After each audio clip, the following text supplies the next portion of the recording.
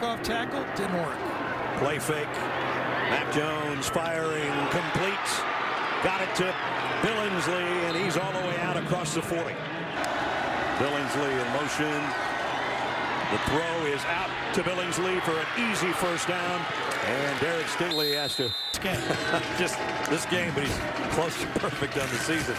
He wants more right here. He's got it. Gonna go long, got a wide open touchdown to Billingsley. Jones off the play fake. Goes again, complete to Billingsley. Number 19 is a hybrid type of a tight end. By putting him in that H-back tight end spot. Jones, play fake, look out from behind. Throws. Oh, wow. How did he tuck that one in to Billingsley? So Jahleel Billingsley goes in motion. He's a tight end, but they play him all over. Terrific athlete. They even have him returning kickoffs as a touch end and Breece Hall, the other finalists. Play fake by Jones. Has him in wide open. Jahleel Billingsley, another Bama touchdown.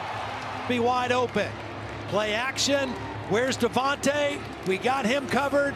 Uh-oh, nobody on Billingsley.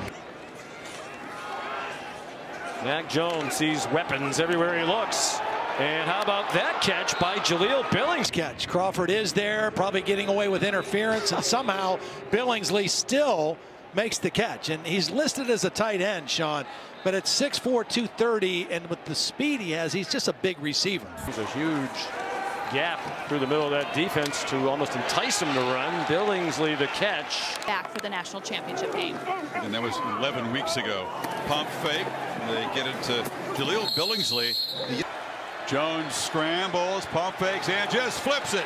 And in stride, it's Billingsley knocked out hard by Borland. Let's see if uh, the ball no, that's definitely control down. when it Yeah, hits the ground. Right. Yep. So